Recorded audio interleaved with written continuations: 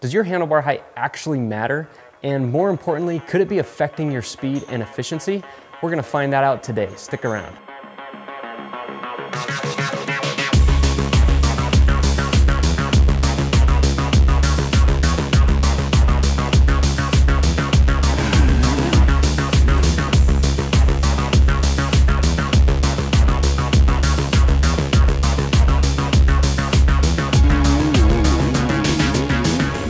In an effort to find more comfort and control, many off-road riders install bar risers. In my experience, I have often observed that most riders don't fully understand both the positive and negative effects that can occur because of such a change.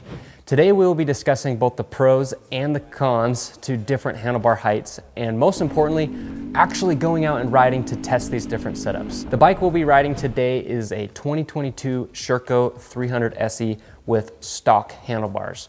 We're gonna be comparing two different handlebar heights. Height number one is a more traditional stock height.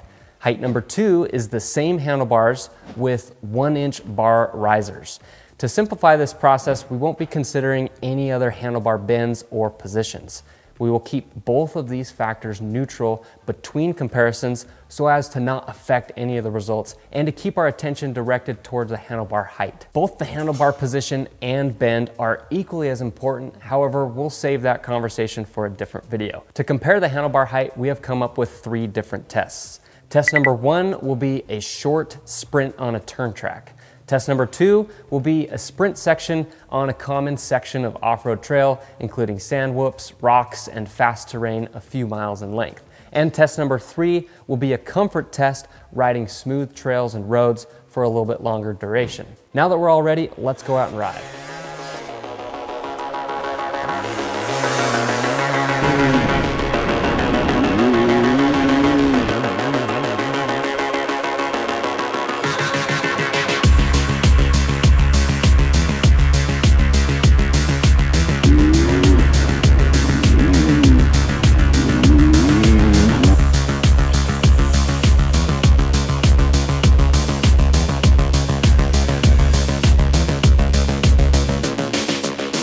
First test we rode was a short, sandy turn track. Just under a half mile in length, the track contained 10 corners and two or three short straights. Being composed of mainly turns, this was a great area to test the cornering ability of the stock handlebar height. We rode each of the three tests with the stock handlebar height first, then we switched over to the taller bars and rode each of the three tests a second time. This was a great section of terrain to compare the cornering ability of the two different setups as well as the accessibility to the rider controls when in both the standing and sitting positions. Corey and I both took turns riding the same bike on identical tracks. This allowed us to get multiple opinions and lap times for each of the three tests.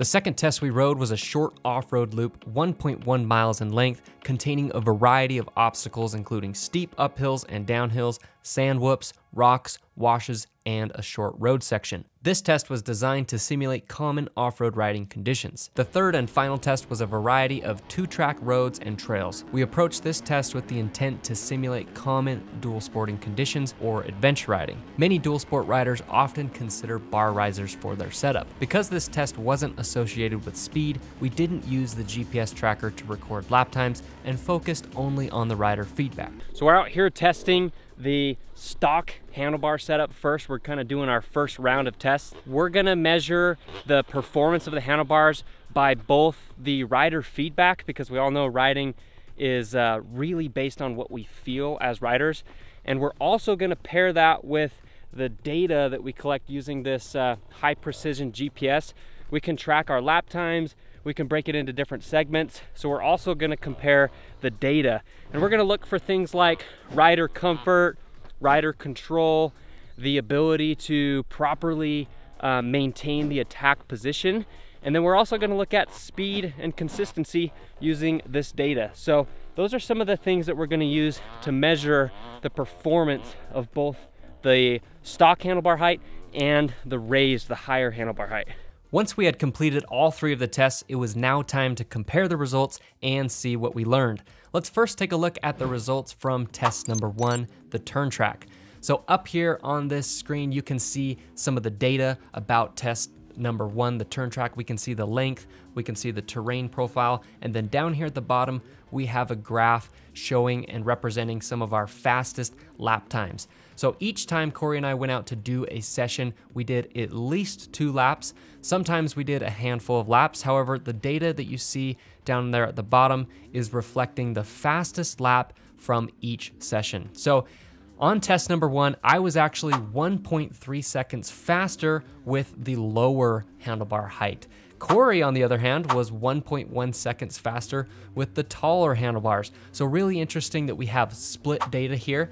Um, but it's also important to keep in mind that we're gonna be comparing both the numbers and the rider feedback. And so it's real interesting sometimes that you may feel faster on a setup um, and you're actually slower. And so that's why it's really fun to do these different tests. However, let's jump into the LitPro MX app. We're gonna have a couple other features that are gonna allow us to dig a little bit deeper into the data. So now we're able to view the same track layout here inside the app. We have the ability to scrub through and see our speed and our time at different points throughout the track. If we let this play, you'll be able to see live how long it takes you to do one lap around the track. However, what's really cool about this app is we have the ability right here to drag over a second layer and compare lap times. So this first lap time that we were watching was my lap time with the stock handlebar height. However, this lap over here on the left that's represented by version lap or versus lap two, it's highlighted in yellow.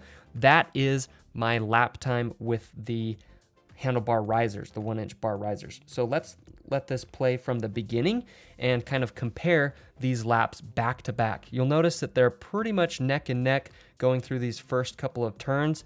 However, we're gonna observe where the time is made and where the gap occurs on this lap time. You'll notice right there in that turn, the pretty significant gap occurs and we start pulling ahead a little bit with the stock or the lower handlebar height. So it's really interesting to observe where this gap occurs and it actually happens right here in this pretty long left 180 turn right there. So um, I wanted to check this out to see if it was going to be occurring here in the straightaways or if it happens here in the turn. Going into this test, I wanted to keep an open mind and see what the results and let the results speak for themselves. However, I did have the assumption that the lower handlebars were going to perform better in the corners.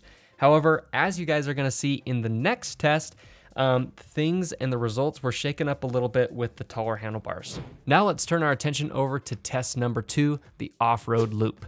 This test was significantly longer, being over twice the length of test number one. It also contained much more elevation and variety. The track began with a steep uphill and downhill section, sand whoops, washes with turns and rocks, and a fast road section. Looking at this graph, we can see the lap times for test number two. Surprisingly, the taller handlebars were actually faster for both Corey and I. Personally, I did not expect this. However, after digging into the data, there are some things that stand out. I also think it's important to mention that we did complete the stock handlebar height test first and then switched over to the taller handlebars for the second round of testing.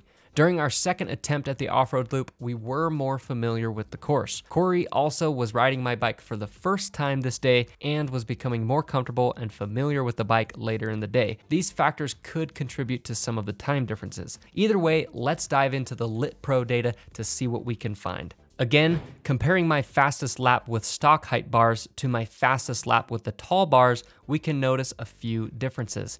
In total, I was 1.4 seconds faster with the taller bars. However, as we play back the lap times, you'll notice that just a few moments into the lap, I already have a one second lead with the taller bars. For a lap that is over a mile long, it's pretty significant to have a one second gap only 500 feet into this test. Some of this could be due to the terrain at the beginning of the test, and I actually think that the culprit is this side hill right at the beginning of the test that had a lot of ditches and rain ruts.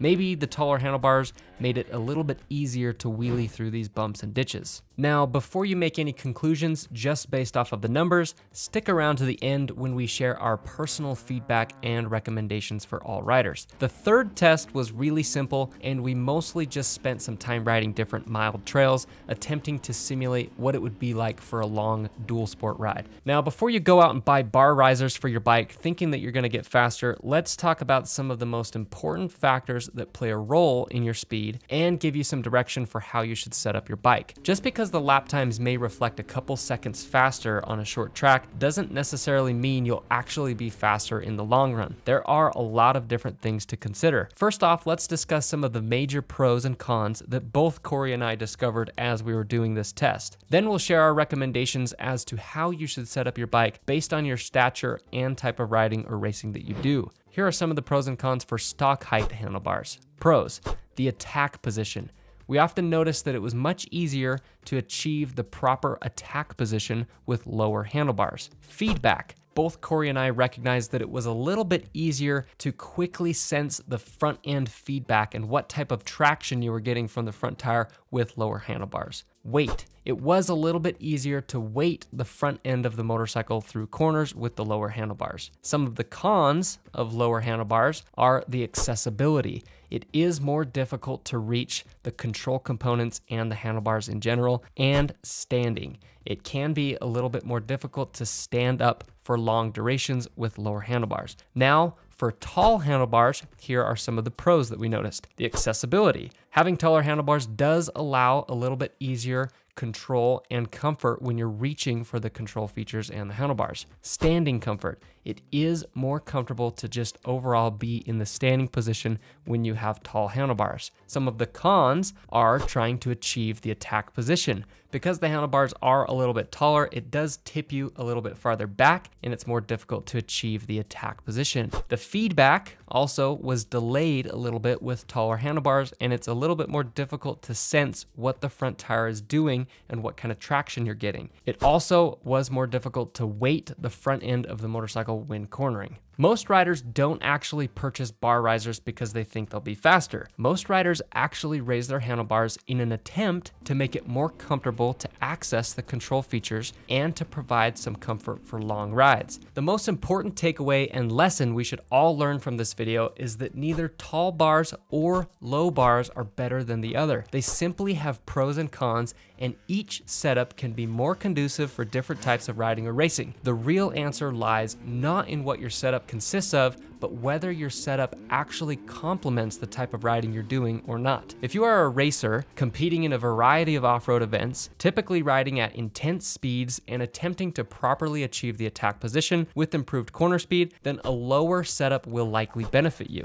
If you are a trail rider who enjoys covering ground and exploring new trails, you may not be as concerned about performance, corner speed, and properly achieving the attack position. You'll likely benefit from a taller bar setup as it will improve your comfort on the trail. Where a lot of riders make mistakes is when they are trying to achieve an aggressive body position on the motorcycle. However, their handlebar position is actually working against them. Ultimately, this is one of the biggest reasons why I wanted to make this video. I often see riders who are working really hard to improve their body positioning on the bike, improve their corner speed, and practice the attack position. When competing or racing, you're often riding in a very aggressive body position referred to as the attack position. Unlocking your hips, pushing your butt back, riding on the balls of your feet, and leaning forward with your head and chest are all important components of the attack position. In my own riding, I have noticed it can be easier to achieve the proper attack position when you correctly set up your handlebars for your height. By running handlebars that are too tall, many riders struggle to lean far enough forward. This can often cause early fatigue due to the fact that you're hanging on more with your arms and are unable to grip firmly with your legs. By lowering your handlebars, you'll be able to achieve the proper balanced position, use your leg muscles, and maintain the proper attack position for longer. If you are a rider looking to improve your speed and practice the attack position, then use this guide to help you with your handlebar setup. Riders under 5 foot 8 inches in height